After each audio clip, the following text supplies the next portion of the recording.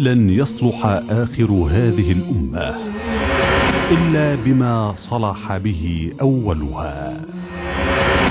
موقع أنا السلفي يقدم لكم هذه المادة. والسلام على من لا نبي بعده نبينا محمد وعلى آله وصحبه وبعد.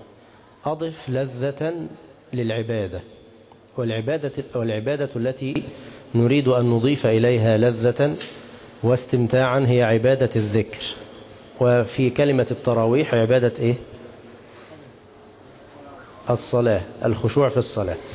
نتكلم في كل هذه اللقاءات عن فضل الذكر ذكر فضيلة أو أكثر من فضائل الذكر ثم نشرح ذكرا من الأذكار الواردة الثابتة عن النبي صلى الله عليه وسلم. اذكر آية من القرآن تدل على فضل الذكر. يلا سريعا. كل واحد يقول لنا آية. فاذكروني أذكركم. استريح. اتفضل.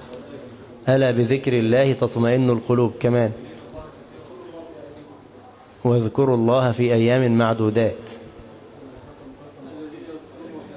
الذين يذكرون الله قياما وقعودا وعلى جنوبهم. قال الله تعالى يا أيها الذين آمنوا اذكروا الله ذكرا كثيرا. انظر للوصف ذكرا كثيرا.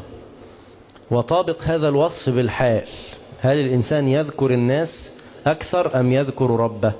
واذكروا الله ذكرا كثيرا. وتجد كلمة ابن عباس أن الله إذا فرض فريضة من الفرائض حد لها حدا وعذر أهلها عند العجز عنها إلا عبادة الذكر. قال اذكروا الله ذكرا كثيرا. وقال فإذا قضيتم مناسككم فاذكروا الله كذكركم آباءكم أو أشد ذكرا. وقال والذاكرين الله كثيرا والذاكرات أعد الله لهم مغفرة وأجرا عظيما. في المقابل الذين يغفلون عن الذكر يتحسرون يوم القيامة. قال صلى الله عليه وسلم كما في صحيح الجامع ما من ساعة تمر بابن آدم لا يذكر الله تعالى فيها إلا تحسر عليها يوم القيامة. عايزك تحفظ الحديث ده. قول كده ما من ساعة تمر بابن آدم لا يذكر الله تعالى فيها إلا تحسر عليها يوم القيامة. ولا يجلس قوم مجلسا لا يذكرون الله فيه أو لا يصلون على النبي صلى الله عليه وسلم إلا قاموا أو إلا تفرقوا عن مثل جيفة حمار. يعني كأنهم كانوا قد اجتمعوا على هذه الجيفة الحمار الميت ثم تفرقوا عنه. فشبه مجلسهم بمن جلسوا حول جيفة الحمار ثم تفرقوا. لأنهم لم يذكروا الله ولم يصلوا على رسول الله صلى الله عليه وسلم. ترى كم مجلسا وكم من المجالس تكون فيها الغفلة وتعلوها الغفلة ولا حول ولا قوة إلا بالله وتكون خسارة على الإنسان يوم القيامة. وقال صلى الله عليه وسلم ألا أنبئكم بخير أعمالكم وأزكاها عند مليككم. من مليككم؟ الله سبحانه وتعالى المليك. وأرفعها في درجاتكم وخير لكم من إنفاق الذهب والورق. الورق؟ فضة. وخير لكم من أن تلقوا عدوكم فتضربوا أعناقهم ويضربوا أعناقكم. قالوا بلى يا رسول الله. قال ذكر الله كما في صحيح الجامع أيضا. وقال صلى الله عليه وسلم سبق المفردون. سبق المفردون. قالوا وما المفردون يا رسول الله؟ ركز معي. قال الذاكرون الله كثيرا والذاكرات. وقال صلى الله عليه وسلم مثل الذي يذكر ربه والذي لا يذكر ربه مثل الحي والميت. قارن أنت بين الحي والميت وهذه حالة الإنسان الذاكر والأخرى حالة الإنسان الغافل. معايا كده ولا نايم؟ هلو هذه حالة الإنسان الذاكر والأخرى حالة الإنسان الغافل. والأحاديث في فضل الذكر كثيرة وسيأتي بعضها أيضا معنا بعد قليل. عدد الإمام النووي رحمه الله فضائل الذكر فأوصلها إلى كم؟ مئة فائدة بل أكثر. لذلك أنا أوصي الإخوة دوما بهذا الكتاب الرائع الماتع للإمام ابن القيم من الكتب التي لا بد أن تقرأها لأنها تملأ قلبك بحب الذكر وتشوقك إليه وتجعلك متلذذا به. اسم إيه الكتاب بقى عشان تكتب اسمه. وقلنا المعتكف ما يقعدش يتفرج لازم تكتب تستفيد وتطلع إن شاء الله بعد, بعد الاعتكاف تطبق تطبق ما أمرت به. كتاب ابن القيم رحمه الله الوابل الصيب من الكلم الطيب. أنتوا مش سامعين بقى وأنا عمال أتكلم من ساعتها؟ الوابل الصيب من الكلم الطيب. في فوائد كثيرة جدا لا تقدر بثمن توزن بالذهب. كتاب رائع جدا. ذكر ابن القيم رحمه الله في هذا الكتاب أن من فوائد الذكر أنه يطرد الشيطان ويقمعه ويكسره. يطرد الشيطان ويقمعه أو ويقمعه ويكسره. قال الله تعالى ومن يعش عن ذكر الرحمن نقيد له شيطانا فهو له قرين وقال إن الذين اتقوا إذا مسهم طائف من الشيطان تذكروا فإذا هم مبصرون وفي مسند أحمد وسنن الترمذي ومصدرك الحاكم بإسناد صحيح من حديث الحارث الأشعري عن النبي صلى الله عليه وسلم أنه قال ينفع معتكف ما يصليش على النبي لما يسمع اسمه؟ عجيب أوي. أن الله سبحانه أنه قال إن الله سبحانه أمر يحيى ابن زكريا بخمس كلمات أن يعمل بها ويأمر بني إسرائيل أن يعملوا بها وإنه كاد أن يبطئ بها يعني تبليغ بني إسرائيل ذلك تأخر يعني. فقال له عيسى عليه السلام إن الله أمرك بخمس كلمات لتعمل بها وتأمر بني إسرائيل أن يعملوا بها. فإما أن تأمرهم وإن وإما أن آمرهم. فقال يحيى أخشى إن سبقتني بها أن يخسف بي. شوف خوف الأنبياء. أخشى إن سبقتني بها أن يخسف بي أو أعذب. قال فجمع الناس في بيت المقدس فامتلأ المسجد وقعدوا على الشرف. الشرف؟ الشبابيك أو الفتحات. فقال إن الله أمرني بخمس كلمات أن أعمل بهن وآمركم أن تعملوا بهن. وذكر منها التوحيد والصلاة والصيام والصدقة. وقال في الخامسة وآمركم أن تذكروا الله. فإن مثل ذلك كمثل رجل خرج العدو في أثره سراعا. واحد بيجري ورا مين؟ عدو. حتى إذا أتى على حصن حصين فأحرز نفسه منهم. معنى أحرز؟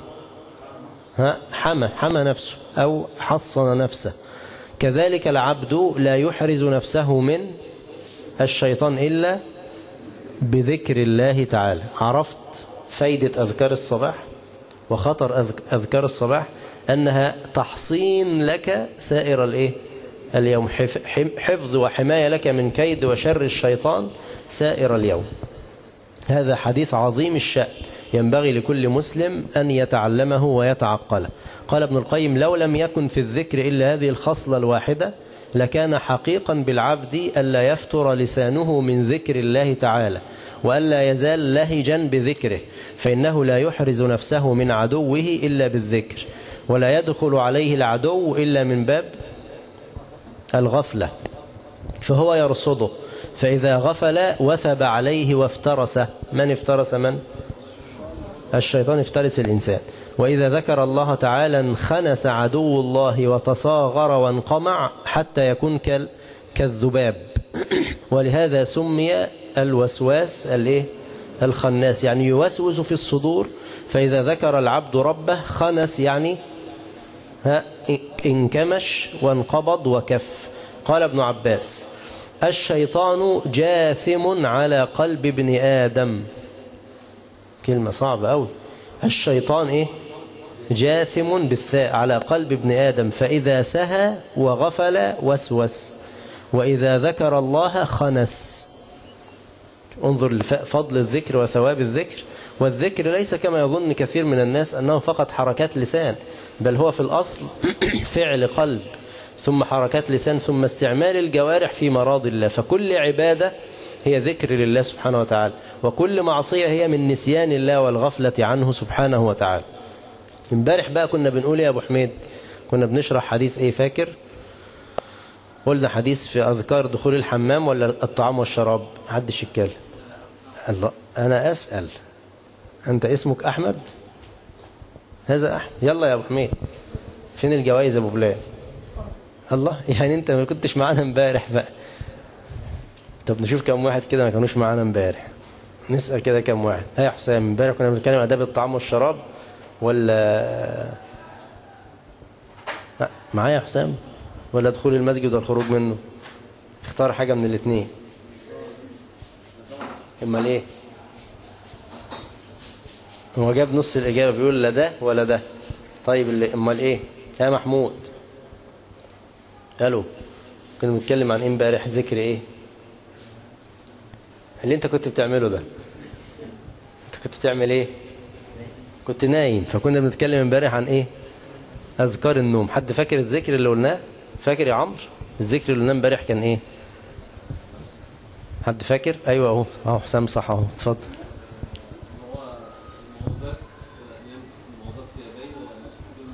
تمام أن يجمع كفيه عند النوم ويقرأ فيها الإيه؟ المعوذات. اللي طبقه قبل النوم يرفع إيده. طب وبقية المعتكفين؟ إزاي طيب؟ ده إحنا ده لسه طازة يعني إحنا مش طلعت روحت. ده إحنا اللي بناخده ده عشان إيه؟ عارف يا إخواني الاعتكاف ده زي المستشفى. وأنا بضيف حتة كده مستشفى إيه حد يكملها من اللي فاهمني كده برضه. مستشفى عسكري. آه ماشي. لأن في مستشفيات تانية مش عسكرية بتبقى إيه؟ بتبقى إيه؟ آه يعني اللي عايز حاجة بيعملها. خدت بالك؟ ففعلا اما تيجي بالليل كده أو في وقت النوم تبص على الإخوة هم نايمين زي بالظبط كده الناس وهي في المستشفيات. الناس رايحة المستشفيات عشان علاج الإيه؟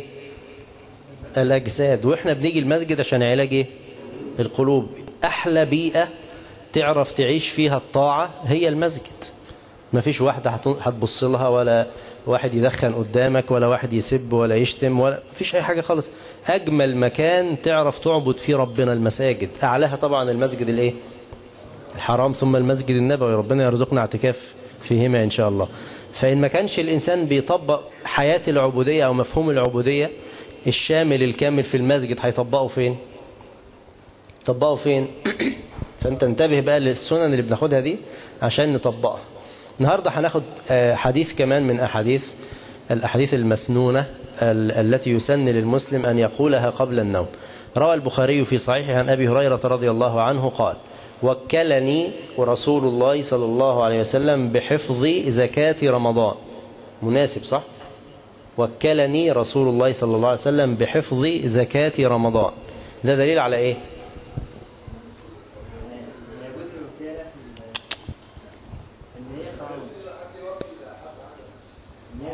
إنها طعام. إنها طعام. تخرج طعاما وليست مالا.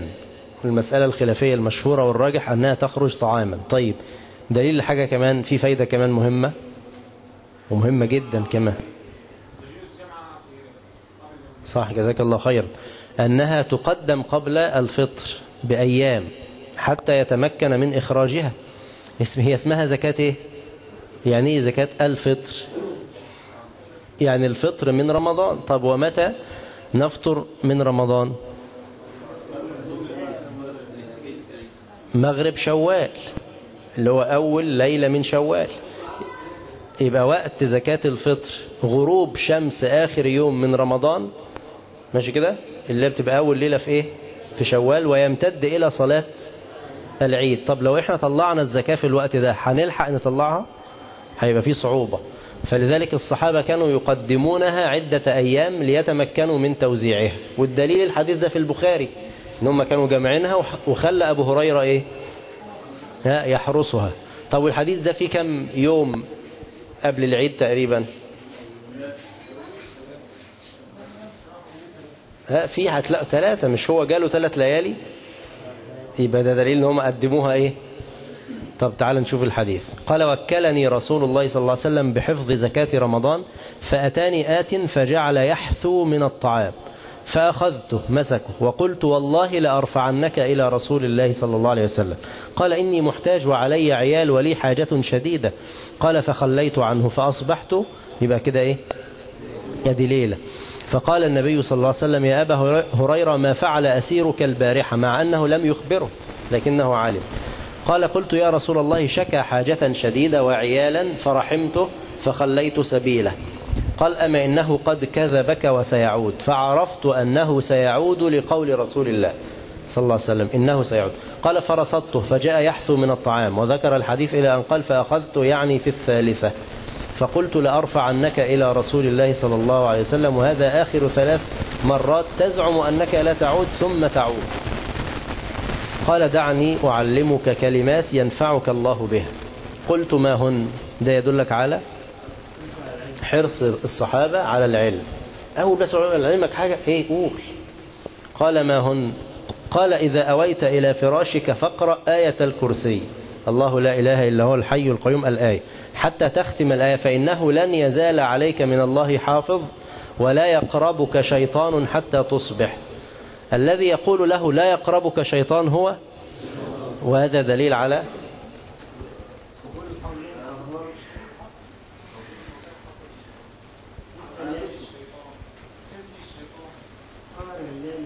أيوه كده ده اللي بيحضر معانا درس الخميس. ده الحديث ده إحنا شرحناه في درس الخميس الترغيب والترهيب.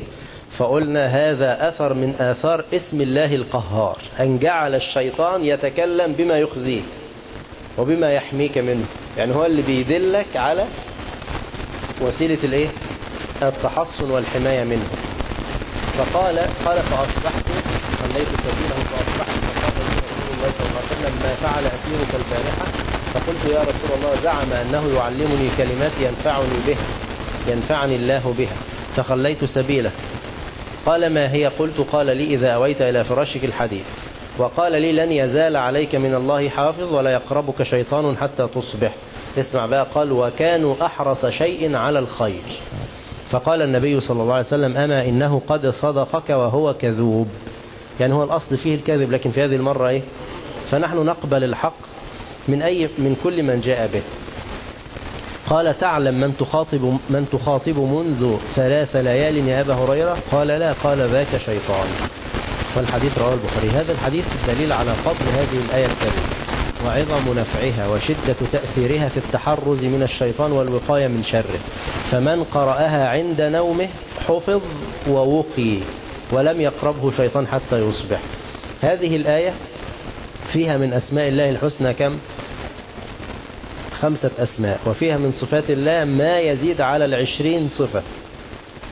هذه الآية أعظم آية فين؟ في كتاب الله. أعظم آية في القرآن. طيب إذا كانت أعظم آية في القرآن وفيها أو كلها أسماء وصفات ما الرسالة؟ الرسالة التي تبلغنا اعتنوا بالآيات التي تحوي الأسماء والصفات. اهتموا بدراسة علم الأسماء والصفات وواقع الناس إهمال الأسماء والصفات. ما تجد أحدا درس الأسماء والصفات كلها. شوف حياة الإنسان خمسين سنة وستين سنة قل له هل تذاكرت أسماء الله الحسنى بمعانيها وتفهمتها وتحاول تطبيقها في حياتك؟ يقول والله يا أخي ما عندي وقت. طب في خلال هذه السنوات قرأ كم مرة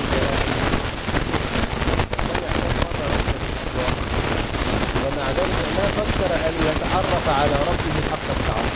وإذا تجد صلاة بلا خشوع وتلاوة بغير تدبر وصيام وزير وغير ذلك لا يعرف أن يعبد الله حق العبادة لأنه لم يعرفه حق المعرفة. فدي رسالة مهمة نريد تطبيقها بعد الاعتكاف بإذن الله أن نعكف على التعرف على الله بأسمائه وصفاته. بدأت الآية بذكر تفرد الله بالألوهية وبطلان ألوهية كل من سواه.